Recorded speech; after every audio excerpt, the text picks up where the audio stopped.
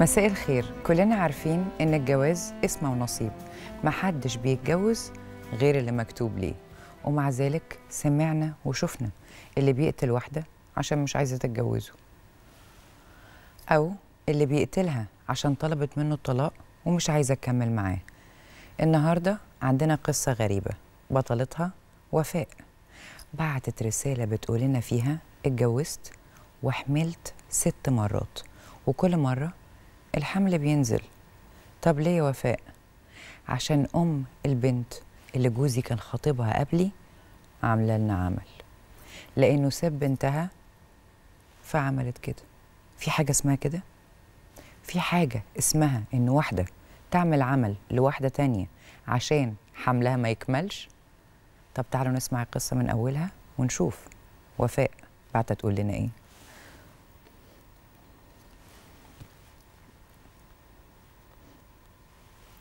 اسمي وفاء وعندي 35 سنة. حكايتي بدأت لما اتجوزت من سنتين ونص. وحصل حمل بعد ثلاث شهور من الجواز. بس مفيش. كم أسبوع وسقطت. زعلت جدا ساعتها بس قلت الحمد لله. قدر الله وما شاء فعل. وأكيد ربنا هيعوضني قريب. وما كنتش أعرف إن دي هتبقى مشكلتي الكبيرة اللي مش لاقية لها حل. يا سالي أنا حملت ست مرات وكل مرة الجنين بينزل في الشهر الأول وكل ما أروح لدكتور يقول لي ما فيش عندك مشكلة طبية. وآخر حمل الدكتور طلب تحليل جينات وراثية ليا ولجوزي والتحليل طلع ما فيهوش أي مشكلة. وكل مرة بحمل وسقط نفسيتي بتتعب واللي مخوفني إنه بقى عندي 35 سنة يعني بكبر وفرصتي في الخصوبة والحمل بتقل. طب ليه ده بيحصل؟ ليه ما فيش حمل بيكمل مع إن ما فيش أي أسباب طبية تخليه ما يكملش؟ سألت السؤال ده كتير لحد ما عرفت إن جوزي كان خاطب بنت قبل كده. وما حصلش نصيب. ومامة البنت دي بتاعت أعمال ومعروفة بالكلام ده. لا ثواني. وعرفتي منين الكلام ده يا وفاء؟ ما يمكن. الحالة اللي انت فيها ان انت زعلانة ومتضايقة ومقهورة اللي خلتك تفكري كده. طب إيه بقى اللي أكد لك ان الست دي هي السبب وعاملة لك عمل؟ إخوات جوزي يا سالي جابوا لنا شيخ قبل كده وقال إن معمول لي عمل يخليني كل ما أحمل أسقط. وفي ناس من أهله قالوا لي إنهم سمعوا إن أنا معمول لي أذى من يوم الدخلة وما رضيوش يقولوا لي في الأول. عشان ما يخوفونيش. وعلى أمل إن كل ده ما يجيبش اثر ويوم فرحي أول ما نزلت من العربية فضل أهله يرشوا عليا ملح عشان هما متأكدين إن لو في حاجة معمولة وبعد الجواز والعشرة وكده أبقى عارفة إنه لأ مفيش حاجة توقفنا ولو في عمل يتبطل. بعد كده ابتدى يتنطور كلام قدامي إن الست دي عاملة عمل لجوزي. حاجة كده عشان ما اتجوزش بنتها. مع العلم إن هي اللي سايباه. أصل جوزي خطبني قبل كده لمدة ثلاث سنين وبعدها حصلت مشاكل بينا خلافات ومشاكل وسبنا بعض أربع سنين. خطب فيهم البنت دي اللي أمها بتعمل أعمال. ولما سمعت إن هو خطب ما حاولتش أعرف خطيبته دي مين ولا شكلها إيه ولا حاولت أقرب له بأي شكل من الأشكال وربنا يعلم. لحد ما عرفت بالصدفة من واحدة صاحبتي ساكنة معاه في نفس المنطقة إن مامته توفت وبعدها بفترة بابا توفى وهو اللي جه بعدها وحاول يتكلم معايا. قال إن هو لسه بيحبني وعايزنا نرجع لبعض. قلت له بس أنت خاطب؟ قال لي أنا سبتها وحكالي إنهم انفصلوا قبل ما باباه يتوفى بفترة. أنا بحكي لك التفاصيل دي يا سالي عشان أقول لك إن أنا ما خدتوش منها. جدع.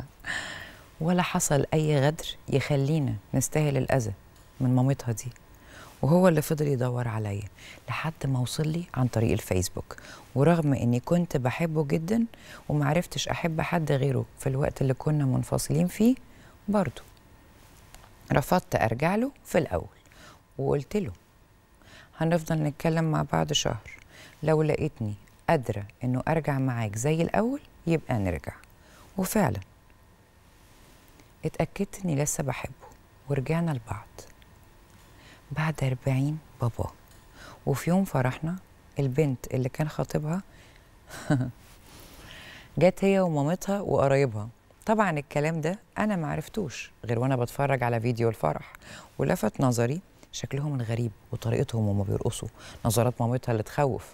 ولما سألت مين دول قالوا لي دي البنت اللي كان خاطبها واستغربت إزاي جت الفرح. قالوا لي عادي هي جت عشان تثبت إن هي مش متضايقة. عايزة أقول لك يا سالي إنه الست دي ما فيش بيني وبين شقتها متر. يعني أنا ساكنة في الدور التاني وهي ساكنة قدامي. ولو أنا مش حاطة ستارة على بلكونتي هتبقى كأنها عايشة معايا. يعني أي حاجة سهلة ترشها لي وأنا أعدي عليها. على طول الست دي مركزة في عيشتي ومش حبالي الخير. هي اللي أذياني. وعاملة لي عمل بعدم الخلفه والفشل. وفي حد نصحني وقال لي أنت معمول لك عمل بإنك ما تطوليش في جوازتك وجوزك يطلقك. واللي وجعني أكتر إني عايشة وسط سلايف كتير. في منهم اللي كل شوية تلقح عليا بالكلام إني ما بخلفش.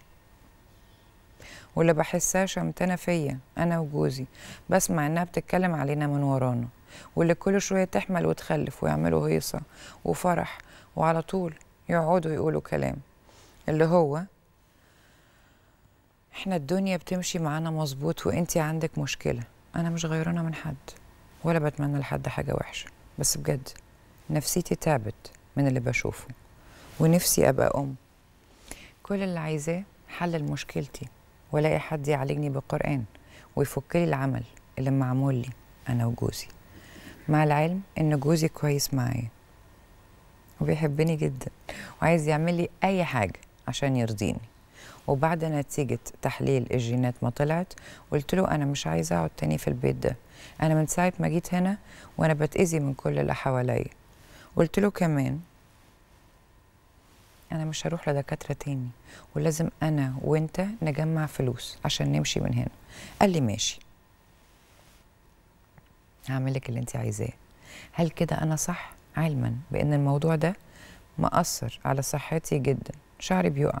وجسمي بيوجعني جدا وطول الوقت بنهج من أقل مجهود.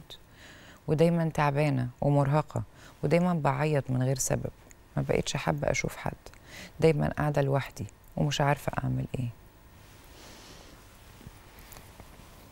ومش عارفة أعمل إيه ها؟ لحد هنا خلصت رسالة وفاء. طب تفتكروا وفاء معمول لها عمل؟ طب لو ده حصل فعلا العمل ده ممكن يخلي إنه الحمل ينزل على طول وينزل ست مرات ست مرات ورا بعض؟